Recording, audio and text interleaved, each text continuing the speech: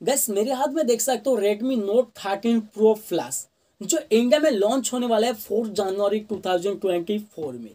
उससे पहले मैं आप लोगों के लिए लेकर आ गया हूँ इसका फुल रिव्यू क्योंकि इस फ़ोन को मैंने यूज़ करो आफ्टर सेवन डेज़ से ज़्यादा टाइम तो इसलिए मुझे पता चल गया, इस फ़ोन में क्या अच्छा ही रहने वाला है, क्या बुरा ही रहने वाला है। अगर आपने भाई इस फ़ोन को लेना चाहते हो तो वीडियो को लास्ट तक देखो। तो चलिए बिना टाइम लेते आज का वीडियो शुरू करते हो। आप भी शुरू कर दीजिए इस वीडियो में एक लाइक करके। सबसे पहले इसका खूबसूरत लुक के बारे में बात करना चाहता हूँ। यहाँ पे लुक हर एक बंद को मैं कहने वाला हूँ अच्छा लगने वाला है। जो मसाला लुक के साथ आने वाले देखने में काफ़ी प्रीमियम से भाई लेदर का बैग के साथ आने वाला है। बैक साइड में दो तीन कलर का लेदर का बैग मिलता है, जो देखने में काफ़ी अच्छा रहने वाला है। और बैक साइड में त्रिपुल कैमरा का सेटअप एलईडी फ्लैश और या फिर रेडमी का लोगो भी देखने को मिल जाएगा। ये फ़ोन भाई फ्लैट डिज़ाइन के साथ आने वाला है और ये फ़ोन इतना ज़्यादा मोटा नहीं होने वाला है हल्का सा फ़ोन है भाई 200 ग्राम के आसपास इसका वेट होने वाला है। और इस फ़ोन को जब अपने बिना बैग से यूज़ किया था, हाथों का निशान वगैरह क्योंकि दाग वगैरह इतना जल्दी नहीं आ रहा था, जो मुझे काफ़ी अच्छा लगा था। फ्रंट साइड में फुल व्यू डिस्प्ले रहने वाले क्योंकि यहाँ पे मेगल में 500 सेल्फी कैमरा मिल जाएगा। ऑब्वियसली काफ डिस्प्ले के साथ आने वाला है। तो भाई, देखा जाए तो यहाँ पे जो लुक प्रोवाइड करी, काफ़ी तगड़ा सा।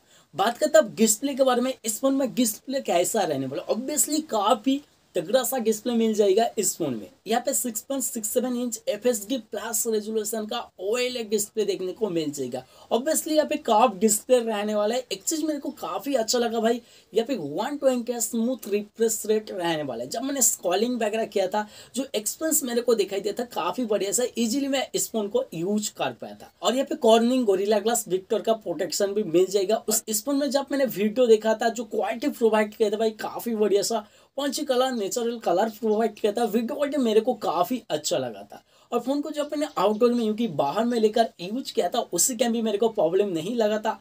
आउटडोर जो ब्राइटनेस भी भाई काफ़ी अच्छा रहने वाला है इस फ़ोन में। और ये पे इन डिस्प्ले फिंगरप्रिंट सेंसर रहने वाले जो कि काफ़ी फास्ट है। जल्दी जल्दी यहाँ पे इन डिस्प्ले फिंगरप्रिंट सेंसर काम हो रहा है। और बात करते हैं परफॉर्मेंस के बारे में। अगर अपने भाई गेम हो तो ये फ़ोन आपके लिए कैसा होने वाला है?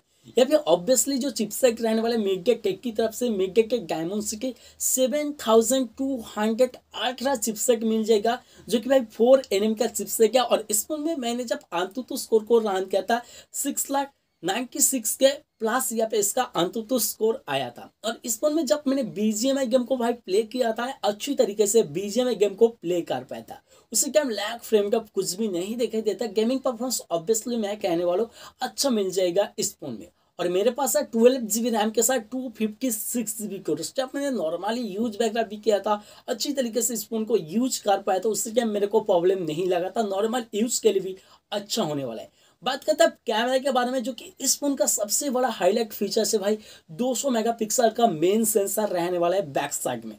और 8 मेगापिक्सल का ultra wide angle lens and 2 megapixel का या फिर डेप सेंसर सेल्फी में मिल जाएगा 16 मेगापिक्सल का selfie camera, back and front दोनों में आप 4K थर्टी एफ़ में वीडियो को रिकॉर्ड कर सकते हो। और जो वीडियो का क्वालिटी भाई काफ़ी तगड़ा सा रहने वाला है। बैक कैमरा का जो simple picture quality फ्रोटिक picture quality ultra picture quality देख सकते हो, काफ़ी अच्छा लगा मेरे को। ऐसे भी, ऐसा पिक्चर क्वालिटी आप लोगों को कैसा लग रहा है, वो आप मुझे कमेंट में बता सकते हो। और सेल्फी कैमरा का पिक्चर क्वालिटी देख सकते हो, काफ़ी अच्छा कैमरा क्वालिटी यहाँ पे रेडमी ने हम लोग को प्रोवाइड करे। ऑब्वियसली मैं कहने वाला हूँ कैमरा यहाँ पे अच्छा मिल जाएगा। बात करता है बैटरी बैकअप के बारे में। यहाँ पे फाइव थाउज़ेंड एम की बैटरी रहने वाला है, जब मैंने नॉर्मली भाई यूज़ किया था एक दिन से ज़्यादा टाइम यूज़ कर पाया था और जब मैंने ऑल टाइम भी यूज़ किया था, मेरा एक दिन तक आराम से निकाल जा रहा था। तो बैटरी बैकअप मैं कहने वाला हूँ अच्छा रहने वाला और अगर आपका चार्ज खत्म भी हो जाए तो भाई जल्दी इस फ़ोन को चार्ज कर पाओगे क्योंकि यहाँ पे 120 वाट का फास्ट चार्जर मिल जाएगा बॉक्स के अंदर। इसलिए आप इस फ़ोन को जल्दी चार्ज भी कर सकते बात करते हैं आदर्श फीचर्स के बारे में। आदर्श सारे फीचर्स आपको इस फ़ोन में मिल जाएगा, जैसे कि I P sixty eight rating के साथ आने वाले भाई थोड़ा सा वाटर प्रूफ भी होने वाला है और यहाँ पर डुअल स्टीरियो स्पीकर भी मिल जाएगा ओ को भी सपोर्ट करेगा, सारे फीचर्स मिल जाएगा। बात करते हैं ये फ़ोन कैसा होने वाला है आप लोगों के लिए। तो भाई इंडिया में तो अभी तक नहीं लॉन्च हुआ है फोर जनवरी 2024 में एफोन इंडिया में लॉन्च हो जाएगा भाई। जब एफोन इंडिया में लॉन्च होगा ट्वेंटी फाइव थाउज़ेंड रुपीज़ के अंदर एफोन इंडिया में लॉन्च हो जाएगा। मुझे तो लगता है, ऐसे भी आपको क्या लगता है, कितना प्राइस में एफोन फ़ोन इंडिया में लॉन्च होने वाला है, वो आप मुझे कमेंट में बता सकते हो।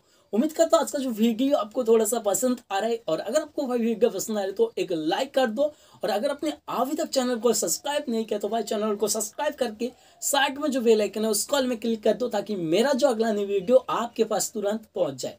तो इस वीडियो में इतना ही। मिलता है न्यू फ़र्स्ट वीडियो में। तब तक के लिए वाई वाई टेक केयर